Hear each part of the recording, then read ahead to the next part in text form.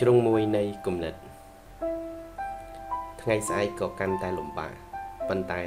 ថ្ងៃបន្ទាប់អាចមិនលំបាកមនុស្សដែលរីករាយបំផុត មិនចាំបាច់មានអ្វីដែលល្អបំផុត គឺគេរីករាយសរសើរនឹងអ្វីដែលគេមាន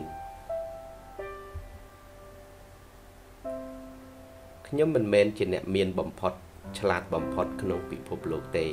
តែខ្ញុំជោគជ័យព្រោះខ្ញុំជាយាមបន្តហើយបន្តទៀត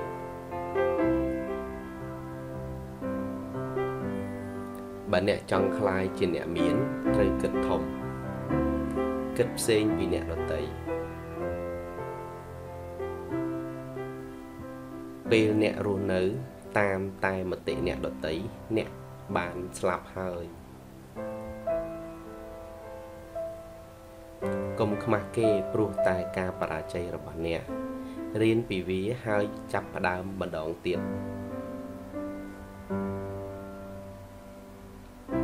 ទ្រពគឺជាអ្វីដែលបង្កើតលុយឲ្យអ្នកទោះបីជាអ្នកដេកក៏ដោយ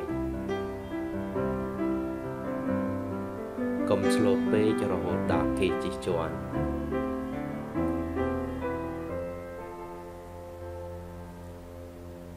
ការមិនសប្បាយចិត្តបំផុតរបស់អតិថិជន ជាប្រភពនៃការរៀនសូត្រដ៏ល្អបំផុត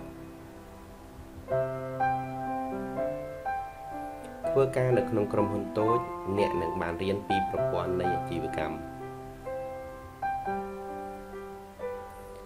បើអ្នកផ្ដល់ឲ្យអ្នកប្រើប្រាស់ទទួលបានបទពិសោធន៍មិនអាចបំភ្លេចបានអតិថិជននិយាយតគ្នាវាមានឥទ្ធិពលខ្លាំងណាស់ ការប្រកួតប្រជែងតែងតែធ្វើឲ្យអ្នកប្រសើរឡើងទោះបីដៃគូប្រជែងឈ្នះក៏ដោយ